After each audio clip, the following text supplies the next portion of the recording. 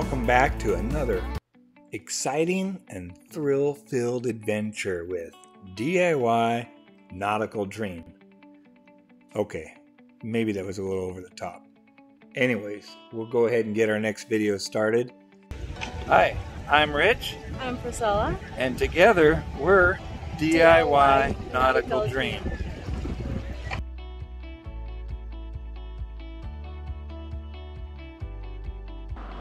Welcome back to another episode of DIY Nautical Dream.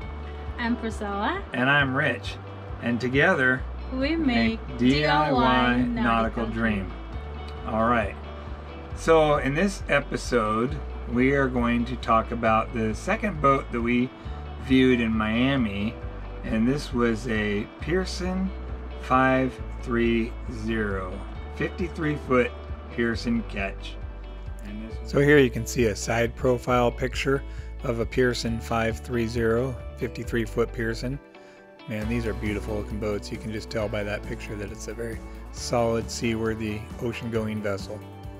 And then here we have a schematic cutaway view diagram view of the boat, and you can see the aft cabin layout on here is just big. It's really a nice laid out boat all the way through, forward and aft. This is also a cutter rig ketch sailboat. And this was a really, really nice boat. You like it? Oh yeah. Oh yeah. Well, so first of all, before we get too far into this, we would just like to say thank you for uh, viewing our channel. And we know there's lots of choices out there and lots of content out there to look at. And uh, we're really excited to share our story, our journey on how we ultimately led up to finding the boat we have today. And so that's why we're reviewing these boats. We just want to show you what our experience was boat shopping um, looking at boats online and traveling to various different locations, sometimes even out of the country to go look at these boats. And each time we were hopeful that would be the one we could find for us, that would be our dream, and that would lead us towards our retirement goal of sailing around the world in various different places. If you're one of those people that are waiting to be inspired or you're waiting to make that next step to get started on your dream or your journey, don't wait we were waiting for a long time. We were talking about it for for a long time, year after year. We talked about someday, one of these days, sometime we should get started, on and on. And it took us watching other channels on YouTube of other people starting their journey, starting their dream, and we thought, wow, well they can do it. We can do it. We should be able to do it also. And so we had we had been saving up money, and we you know, thought we really didn't have enough, but figured we'd look around and see what we could afford with the money we had and maybe stretch what we have saved and go a little bit farther. But so yeah, if you're one of those people like we were, waiting for that moment, waiting for that perfect time, that perfect time's never going to come. So you just have to take the chance and go for it and decide that you're going to take the next step to pursue your dream. And so that's what we just want to encourage you to look at that real seriously and find that opportunity to get started on the next step. And just take a little step here and there and pretty soon you'll find out you're you're doing what you've always dreamed you'd be doing. And just keep in mind if it was easy it wouldn't be a dream. And we always say if it, if it was easy we wouldn't be doing it.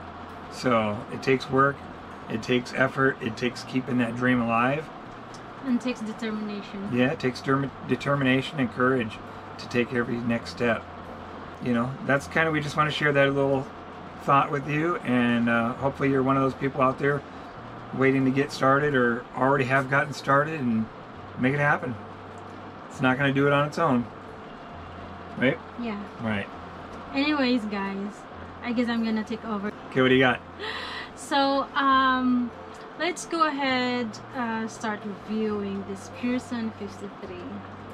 I really like this boat. What did you like about this boat? It's everything. It's everything. Like, so here we go. Baby's already giving me that look. Like, hey man, do whatever you gotta do. We need to get this boat. She's already reviewing the brochure, checking the price, making sure it's within our limits. We got the money. If not, she wants me to figure out how we're gonna find the money. But baby likes this boat. I like it too. But I think we need to look at the inside before we get too far into this. I thought the last boat we look at was Yeah. the one. If I remember right, you said the search is yeah, over. yeah. So why would we even go further? Well, because you said that we're gonna go look at all the boat that we plan to look at for this uh, vacation. Yeah, and so that's a good reason why we continued on with the search. The list of boats that we have picked out was because, you know, we're hoping there's going to be more than one good one in this search. Yeah, so we just we drove on to Miami to the second stop, and we pulled into the parking lot. And this is another one of those. These people are living in really good locations where they're living in a condo and they got this canal right behind their condo and this channel back there where all these boats are tied up at a, to a dock and here's the Pearson 53 tied up to this dock and uh, you know perfect setting. Really great place. And so when we pulled up to park to get out of the car and look at this boat this is what we saw. This nice canal system that where these condos are bordering it on either side and they got these places to park the boats alongside these docks and walkways. Man what a what a way to live. And as we were getting out of the car the broker had kind of chased us down to make sure we got to the right location. Stopped me in the parking lot kind of whispered a little little bit to me that this boat had room for negotiation on it and uh, he thought it, he thought himself that the owner was asking a little too much for it. We kind of thought that was a little bit odd. We you don't normally hear that from a broker but hey whatever. We'll keep that in the back of our mind as we go up to this boat. So the broker actually took off and said, you know, if we were interested in this boat, let's get back in touch later. And so, Yeah. okay, cool. We're gonna look at this one. Negotiate with me instead of owner. Yeah, yeah. And so this is another one of those boats where we're gonna get a chance to look at it without the broker there bugging us and trying to distract us. So, anyways, so that's just a little side note there. So we get out of the car and start walking towards the boat, and we find the owner, and he kind of greets us as we're looking at the boat. And we took a few quick looks to the outside. So yeah, we took a couple of quick looks at the outside of the boat and really liked the style, the design, the look. It's just a very nice, attractive looking boat. It's ketch rig. It's modern looking still, but looks like it has everything we're looking for, except for maybe no windows in the aft transom. I liked everything I saw. You, you like the looks of it? I yes, I like it a lot. Yeah. But remember, while we're driving, you said, "Oh, you're not gonna like this boat." Yeah, we almost didn't go look at this one because it seemed like it. It seemed like the broker was having hard, having a hard time fitting us in on this schedule, and our time window was kind of tight. So um, we thought, hey, if we don't see it, we don't see it. I'm like, you're probably not even gonna like this one anyways. It's more of a modern style sailboat, and you know, we might not even like it. So if we see it, at the end, it ended up my number one. whoa, that's kind of early. So should we just end the video here then, no, what? that, that's what I said Oh, at the end. All right. Well, I guess we'll follow along. We'll we'll go ahead and tell go ahead and tell the story. She kind of left the ending right there for Yeah, you, but it's just talks. pretend she didn't say that, right? Okay. So, Go. anyways, yeah, we we walk up, meet the owner, and uh, he gets us on board. First thing he says is he wanted us to take our shoes off. So anyway, so we get on board, and uh, he's got the air conditioning running, which we're like, hey, that's kind of cool. And um, so we get on inside, and it's it's pretty well chilled inside. Uh, I I did take a quick look around the cockpit real quick as we were getting in, and noticed that the cockpit's pretty roomy on this boat. We'll talk about that later. So we go down the companionway stairs. Um, this one did have a little bit more of a uh, ladder kind of walk-in companionway stairs, but not too bad. But we did have. So off to the left of this picture, you can see the companionway stairs leading into the main salon. Uh, there's not too many steps there, but there are a few, and the handholds don't look like they're the best. But at least it's not a long staircase or a long ladder to come in. Looking around on the inside, the main salon, pretty impressive. Really well spread out. Lots of uh, seating areas all throughout, so we like that. Just really, really impressed with the size of how, how big the main salon was. The main salon on this boat is just big. It's full beam width. It has a very nice uh, settee area there with a nice table with storage in the center. It's got the cool lights over the top of the table. It's got a nice nav station off to one side. It's just a really big, roomy main salon area. Very attractive. It, this was a really roomy boat inside, and It had that the wood inside. It had the nice look. The lamps hanging over the table. Did have plastic over the couches. Kind of was interesting with that. The galley on this boat was really well laid out. It was long, but it was just very roomy galley. Um, Here's a couple shots of the galley on this boat. Now it's a long galley, but wow, is it laid out really nice. It has a three burner gimbaled propane stove, oven, and then it also has the double stainless steel deep sinks, also has the in countertop freezer and refrigerator access, also has a really nice microwave right over top of the control panel there. And then again, here's another angle view of the galley looking looking uh, towards the main salon again. So yeah, you can tell it's really well laid out. Nice wood floors in it. The other thing that I noticed, which I thought was really cool, is he had all the all the floor hatches were open in all the key areas where we were going to want to check. So you can see. The bilge was open. The uh, propeller dripless shaft seal was the floor was open for that, so we could inspect it. And we're like, wow, this guy is he's, He's ready very for us. Yeah, he's serious. He's ready for us. Um, so here you you can see a couple pictures of the floor accesses that he had opened up for us, and uh, it was really nice. We were able to get a good look at the propeller shaft seal and see how that's looking. It's not leaking, and the propeller shaft itself looks good. It's not all terribly rusty. And then also the mast boot, or I'm sorry, the mast base, mast step was also uh, open, so we could look at that, and it was nice. The owner was prepared for us. And the first place we head was from the main salon towards the aft cabin. We had learned that through boat shopping, we want to find out if it's got the right kind of bed that we're looking for.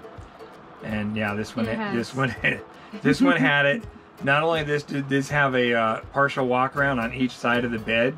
The bed wasn't super high, and That's it had perfect. and it had plenty of uh, headroom over the top of the bed, if you know what I mean. So for those uh, On top action. yeah, that too. Yeah, that'll work. that, I was, wasn't gonna go there, but yeah. So headroom for it just had plenty of headroom spa- uh, space in the aft cabin, which we really liked. Uh, so here's a couple of views of the aft bedroom. This is the master bedroom on this boat, and you can see the bed is is just exactly like what we want. It's uh, accessible from either side, so we don't have to disturb anybody when we're getting in and out of the bed, which is really nice. It's got plenty of headroom over the top of the bed, so you can sit up and you don't have to worry about hitting your head in the middle of the night. One thing I noticed uh, was there an overhead panel that was removed. It looks like they were either maybe running some wiring, troubleshooting, or maybe there was a leak in that area. But other than that, this room is perfect. The woodwork in here is fine and beautiful and is well cared for, and it's all in really good shape. I had a really nice uh, master bathroom back there, which had lots of room, had a shower in it, really well laid out. So here's a couple looks at the uh, aft master bathroom. Uh, it's got a normal toilet in there, which is nice. It's got a nice roomy uh, sink area as well, and then it's got a nice stall shower that's separate from the toilet, so it's not a wet head. It's actually a stall shower, which is nice, so not everything gets wet wood all throughout the inside of this boat, which was really nice. It had a really, from what I what we'd seen up to this point, the breaker panel, control panel looked pretty nice. Had a microwave. This boat actually had a pretty nice breaker control panel on it. Had uh, lots of access, um, lots of switches on there, a lot of things you could control on it, which is which is nice to have things independently controlled on there.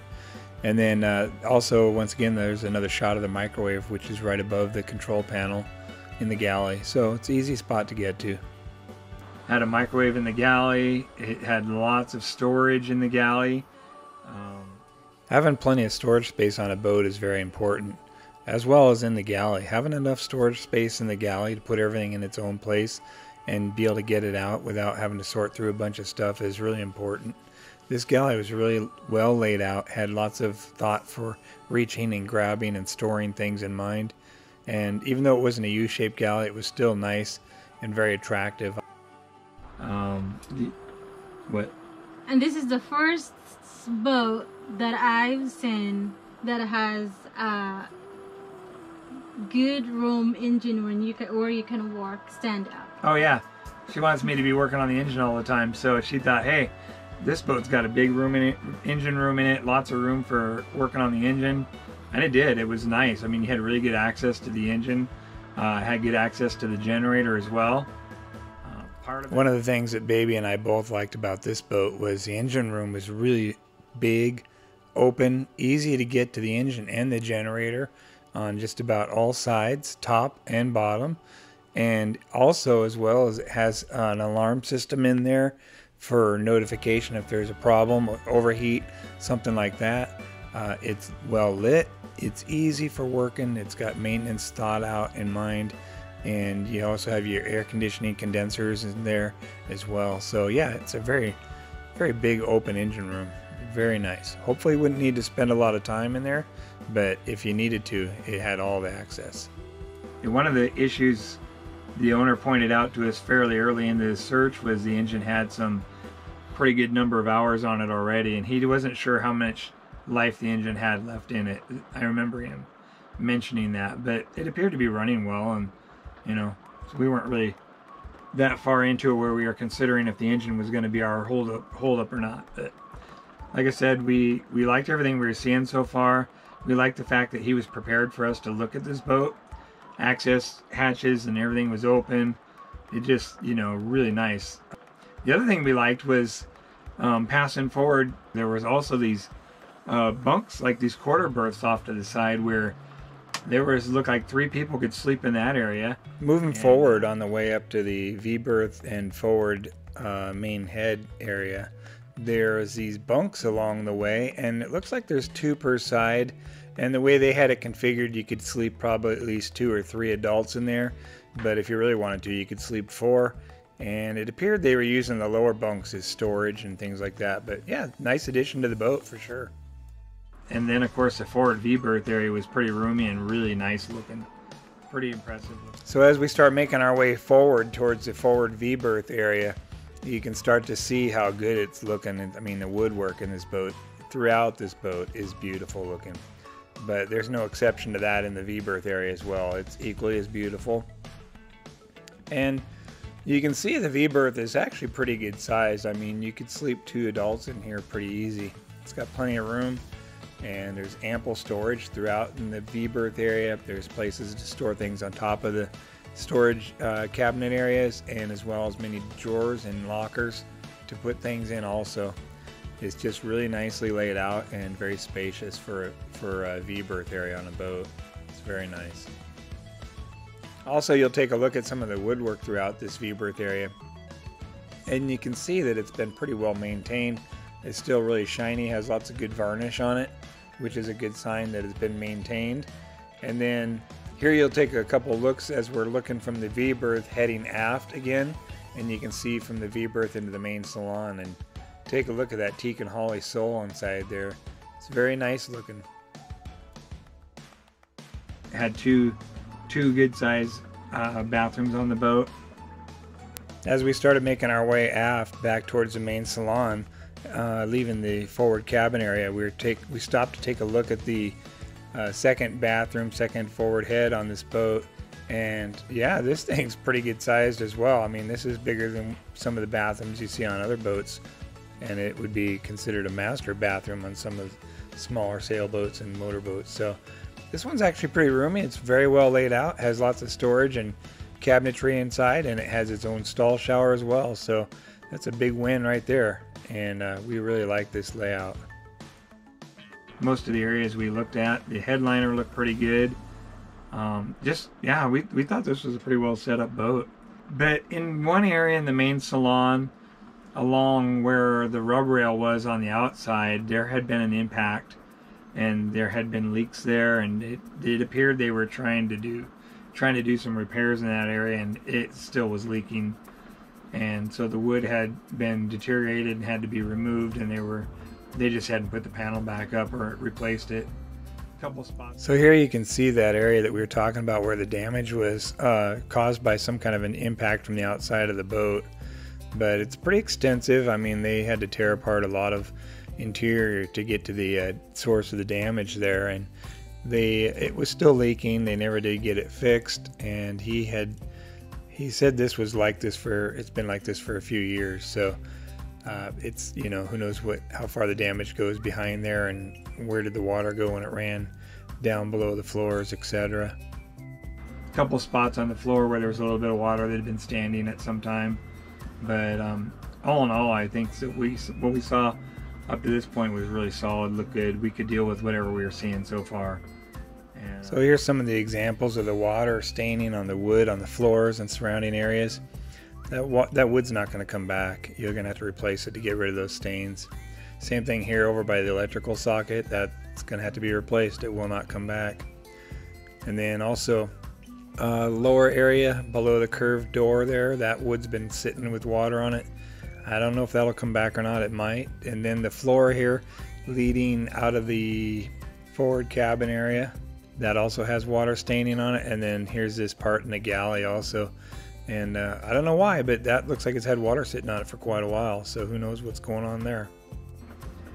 Large main salon, which also converts into a sleeping area. Um, I like the oil lamps that were in there. The hanging lights over the table look nice. And in the center of the table was a cover that lifts up so you can, for you can uh, store things in there. So here so. you can see the oil lamp mounted on the forward bulkhead there in the right corner of the main salon. And then also here's the dining table and it's got those lamps hanging over the top of it. I really like that. And then the center portion of it is a storage area. If you lift that up, you, there's storage in the center of the table. Pretty cool. Yeah, he had all kinds of spares underneath the uh, seating area in the main salon, which some of the totes were organized really well with standards and fasteners and you know small spares and stuff tucked away in there. So that was cool.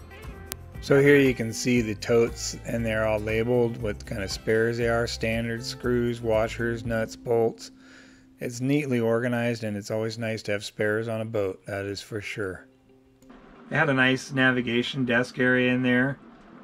The electronics looked like they could use to be modernized, not something you'd have to do right away. I think there would be uh, other pressing issues that need to be attended to before that. But Here's a couple shots of the navigation station area. Baby sitting in the swing out chair, looking like she's comfortable there. But yeah, you can see the electronics here for the navigation. It's not real up to date. Uh, some of the basic stuff's there. I mean, you could get by with it for a while, but definitely if you're going to do any large passage or crossing an ocean, you're going to want to update that to probably to something a little more modern. Had a nice swing out chair for the uh, nav station area, which was cool and we like that. Some of the wood had appeared like it's been wet before, had some staining at the base of it, things like that. But that's that's pretty common on an older boat. You're going to find that on a lot of boats. It just happens sometimes from sitting or uh, condensation or anything, something like that getting on there. But all in all, it was a really bright in interior on the boat. Had lots of port lights and windows throughout, so it allowed a lot of light inside, which kept it nice and well lit in there had several deck, large deck hatches. Then we decided to head back out into the main, up on deck into the main cockpit area. The seating area in there was very roomy, which we really liked that. But Here's a couple views of the cockpit area on this boat. Uh, you can see the companionway entry there, and then here we're looking at the cockpit area, and it's pretty large. I mean, you could sit probably a good uh, I'd say probably about four to six people in there pretty comfortably, maybe even more, and still be able to move around and do what you need to do. But it looked really well laid out. He had the covers for going over the wood, which was nice to keep keep all the teak and everything protected from the sun, and covers for the helm station as well. But uh, I did not see anything for electronics up there, so I'm not sure if they had them stored away or something. But uh, otherwise, that's another expense down the road. But yeah, it's all in all, it's a really nice well laid out cockpit area on this size of a boat. But this is where things kind of started to go towards the little dark side negative area. There was a couple of uh, rigging lines that had either broken loose or they undid them for some reason, but they were uh, some of the uh, rigging cables were hanging free or wrapped around another cable. Noticed some rust and corrosion on several of the rigging fitting uh, just after, just above the chain plates. So here's a few of the several instances where we saw rust or corrosion on some of the uh, rigging fittings. And then even some of them, even worse yet, we would see some cracks in there where you could see rust that was oozing out of the cracks. No way is that any kind of, that is not good at all. I, I know that for sure. And then, uh, yeah, they had lots of patina on some of the threads as well. And just all kinds of concerning areas around the rigging. There's numerous areas like that. Seeing those kind of things sets off some warning warning alarms, you know, warning bells. So we're knowing we know that the rigging's going to be an issue. The rigging's going to have to be gone through, Change. and this, this is a ketch. So you got two masts on this this as well, and it's also a cutter rig ketch. So you got a lot of extra rigging that's going to need to be attended to on here, and that's going to be a it's going to be a fair expense. There was some uh, small dents in the deck. I don't know where they dropped something on it, things like that. So um, but that, like I said, it's a used boat. I mean, it's it's going to have some miles on it. Mhm. It's going to have some things like that. So those aren't deal breakers. But the rigging was kind of a concern, just because to actually have cables that were hanging freely, that that means this boat's not going sailing anytime soon. Got to check that out. And some of the Dorade vents were removed and closed off with look like plexiglass covers. Here's a couple pictures of the Dorade vents with these cover boxes on there. I'm not sure if these are removed for storage, uh, the Dorades, or if this is just the way they are and there's some kind of a pop-up type button thing on there. I'm not sure, but it looks like the actual Dorade vents themselves were removed. But you can also see some of the large deck hatch openings on the deck also. Those are really nice for letting the light in down below. Help light up the area pretty nice. Looked like they had some issues going on around the mast boot.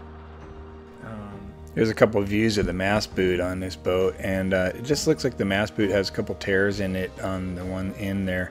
And uh, the purpose of this mast boot is to help keep uh, rainwater and moisture from flowing down the mast into the main cabin area of the boat. So uh, it's not a it's not a major deal, but it's something you wouldn't want to leave unattended and get it fixed soon as possible. You know, he kind of just left us alone to look at whatever we wanted to look at at that at that point, and just told us to talk to him later when we were done. It had an in-mast furler for the mainsail, which was nice, but those also can be a uh, liability as well because if it jams with the sail out and you need to reef, you need to get the sail in because you're into a storm and it's jammed, which they do jam. It's not not uncommon then that's that's an issue. That's something you have to be prepared to deal with on a moment's notice. And in, and usually, when something like that happens, it's not going to be in conditions that are favorable Mhm. for doing that kind of work or a repair real quick. So, in-mast furlers are nice, but they can also be uh, a liability as well. So, just something to keep in mind. Um, we didn't. Yeah, so here's a couple pictures of the uh, in-mast furling system, and this boat actually had an in-mast mainsail furling system, and also the mizzen sail was also an in-mast uh, furling sail as well. So that's pretty cool, and it's a really nice option to have. But you just got to keep these maintained because the lower bearings on these can seize up, and then your sail gets jammed in the worst position possible during the worst conditions as possible, usually. And as with most things, there's always pros and cons. know any of the condition about the sails, but uh, just looking around, figuring, look, looking at the rigging, seeing how the rigging was, then you're kind of thinking that maybe the maintenance wasn't done on the in-mast furler system as well, and maybe it works, maybe it needs to be maintained, maybe it doesn't work, maybe the bearings, you know, need to, need to be replaced, whatever. But we're not trying to be nitpicky. We're, we're, we're trying to be realistic. This is something you know this is an investment we're going to put a lot of money into just making the purchase after the purchase we know that there's going to be a series of projects and we just like to take mental inventory of what we can see throughout these short walkthroughs of what we may have to consider later on when we're trying to decide if we're going to make an offer on this boat or not. So the rigging was already a big question mark. The rub rail where it had looked like it had taken a side impact either from a post or another boat or coming into a dock too too fast had left damage on the inside and on the outside and they tried to patch it but it wasn't it wasn't repaired correctly these are issues that we're going to take note of and kind of just think about in the back of our mind when we uh, go back home and we start thinking about these boats. But So I wanted to take a couple pictures of uh, up on deck and just show how big this boat is and how well laid out it is. But uh, for a 53 foot boat, this up on deck is really big. Lots of room for moving around. Um, even on the side decks, there's plenty of room for moving around. And you know, on a sailboat coming in and out of a mooring or coming in and out of a marina, uh, there's always somebody going to be up on deck moving around, getting in and out of tight quarters, helping you dock, things like that.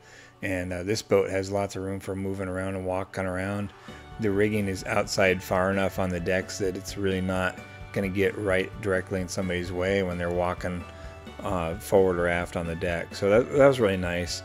Um, also on the aft of the deck, it has a nice area for the dinghy davits and stuff back there for launching the dinghy. So yeah, this boat was really thought out real well during the design phase, and and uh, it shows. It looks really nice. we really like the room on the deck. It was very, very spacious, very big. Um, this boat has spider cracks in the gel coat. This boat. Here's a couple of views of some of the spider cracking we saw on the deck of this boat. Uh, it was around some fittings and hatch hinges and just general areas, surface areas on the deck and around cutouts, things like that. Uh, later on in our video series, once we uh, get started on our own DIY project boat, we'll go into greater detail on how to fix those. But simple way to explain it is I would grind those out with like a Dremel tool down to the base fiberglass, and then I would fill those in with the uh, thickened epoxy material, maybe some chopped fiberglass strand mixed in with it. you're, these boats are going to have cracks in the gel coat. They're spider cracks. They and they were pretty well throughout the boat on the deck, and that's that's it is what it is. You're you know that's the way it is on boats that have been used and older boats. You're going to find that. Had nice lifelines on there. Stanchions felt pretty secure. Yeah, I mean, all in all, I think this was a pretty solid boat. From what we could tell, we we were liking everything that we saw. We liked the room on the on the aft deck especially was roomy. The bow area was roomy and the main cockpit area was roomy. So as far as we were concerned, this boat was checking a lot of the boxes we had on our list of things we were looking for in a boat like this. Did not have windows in the aft transom.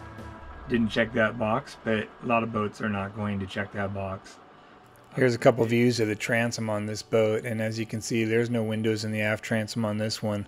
In fact, it's not even a sugar scoop transom, so uh, any scuba diving or swimming off of this boat, you're gonna have to climb that ladder to get out of the water, and that won't be any fun with scuba gear on. I can tell you that.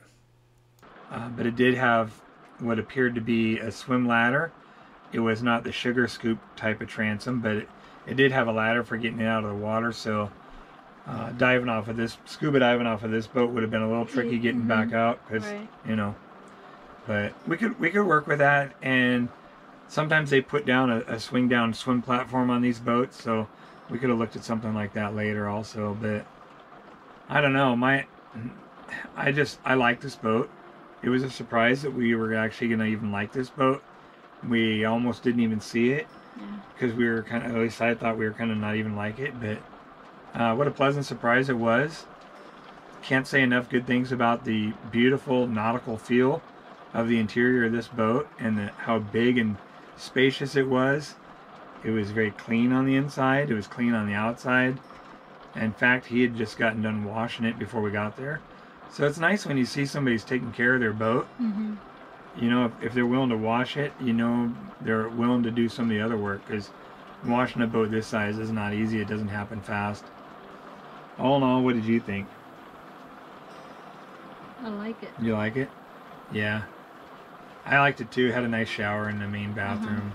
I So, like everything Yeah. inside. And uh, yeah, so it, this boat definitely would work for what we were looking for at the time. So we were seriously going to put this one on our list, our short list. So at this point in the search where we were at, we had two boats on our short list now. We had this one and the Irwin 52. Mm-hmm. And these were two both really nice boats.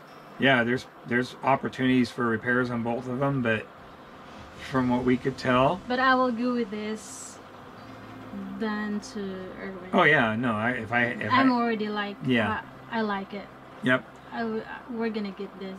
For sure, yeah. I mean, if uh, if we were to decide between these two, I would have picked the the uh, Pearson 53 as well. So the funny thing is on this boat is after we got home and we had been talking about this boat a lot after we got home and we really started to consider it and like we said before we like to take lots of pictures and we zoom in on these pictures and we look for issues cracks corrosion staining water wood damage whatever it may be we look at these areas and we look at them really closely and try to figure out what we're looking at and what we need to consider and and so we kind of got to a point where we were going to make an offer on this boat after we got back home talking to the owner and he had already had somebody considering it Yeah, it was pending. and so we were like wow that kind of hurt said. yeah so then i got a hold he said so you have to talk to the broker and so i got a hold of the broker and, and the broker said yeah it's pending survey.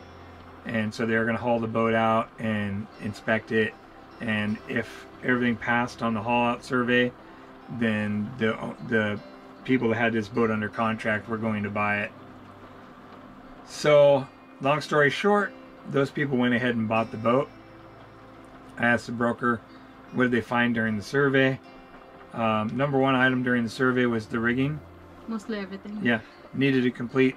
All the rigging cables needed to be replaced. They were all compromised from corrosion, cracks, turnbuckles had cracks, stuff like that. So that was one thing that we kind of knew. Next thing that we didn't know was because the boat was in the water when we looked at it, but this had major keel damage on it. So we dodged a bullet on that one. Um, he said that repairs were going to be estimated to be about $100,000 in repairs. So the people who bought this boat got it for a really good price, but uh, keel damage is not something that's in our wheelhouse. It's not in our skill set. It's not something that uh, I've ever messed with. I wouldn't know where to begin on that. I would definitely have had to hire out help on that one. So yeah, it's too bad. It was a very beautiful boat, um, really attractive. It was modern looking on the outside, but on the inside, you felt like you were on a true classic. Uh, really nautical feel on the inside. So we got the look on the outside of a, kind of a modern looking boat, but on the inside, it was an interior I could live with as far as all the wood and everything. It had that warm, just really warm boat feel to it, and, and I liked it. And the interior looked like whoever had built it and put it together done a, did a really good job. All in all, we were happy to have toured this boat, and we were actually just kind of sad this one kind of got away from us a little bit, but mm-hmm. you know, we uh, um, that's what happens. Sometimes when you find a boat and you, you know we had too many more to go look at still, and we could, you know, even he even said, make me an offer before we even left, and I said, yeah, we're not ready to do that yet, so we'll, we'll get a hold of you later. He gave me his phone number and his e- email address, and you know, later we we took too long. If it was meant to be, it would have worked out Yeah. and if it wasn't meant to be, it wouldn't worked out. And so, obviously, it wasn't meant to be. It was not the one, but it's a beautiful boat. I thought for sure that um, this is our boat. Yeah, it kind of had that feeling after we left. We really started kind of feeling a little attached to it. It's check all. To me, it's check all my lists. I don't know about you. Yeah. No, I didn't check all my lists, but um, Oh yeah, the window at the back. well, yeah, I would like the windows in the transom, but I also want a sugar scoop transom, preferably an easy way in, easy way out for diving. hmm and this boat didn't really have it didn't have an easy way in back in from the water. You can always jump overboard but getting back out's the tricky part. So but we could have made you know there's ways to get around that. You can have a fold up swim step and all kinds of other things we could have done so. Yeah. but yeah it was a nice boat really beautiful. Hmm very attractive. I like the look from i like the look from the outside or the inside so it was a nice boat so yeah after this we were heading to the bahamas and then the next boat on the list was in trinidad. His favorite. yep. Again. otherwise known as port of spain. But yeah so we're we're traveling to trinidad to look at our next boat. And up next nice beautiful ct54 another one of those on our list. So we are really looking forward to seeing this one and it's known as the wind wanderer so if you ever heard of the wind wanderer that's what we're getting ready to go look at so ct54s are are at the top of my list as far as far as favorite boats goes and so we're looking forward to seeing our next boat Yep. on the search. In short, his favorite boat. Yeah, ours, our favorite boat. All right, so until then, stay tuned, and please, if you like what you see, please don't forget to like and subscribe, and comment down below. Did we miss something on this that you could see, or was this a nice looking boat, or what?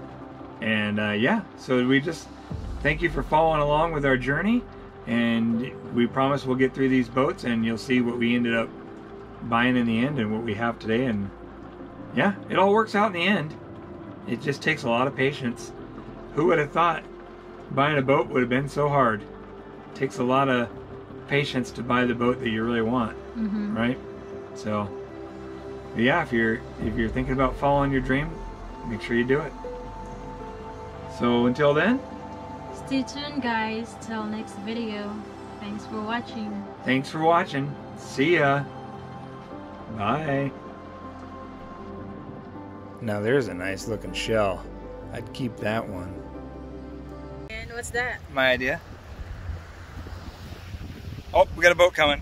It's this guy.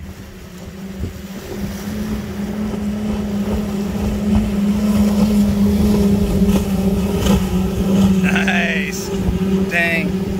Five engines on the back? That was sweet.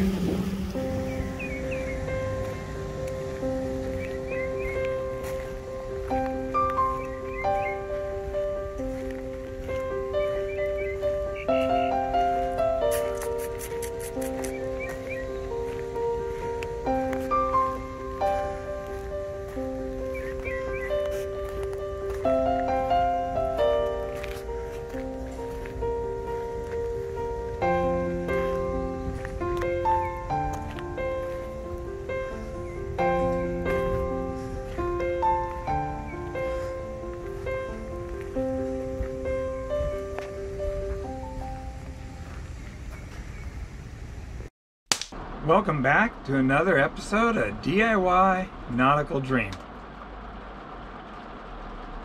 I thought you were gonna do it. Take two. Okay. Welcome back to another edition. Whoops. No. All right, we got this.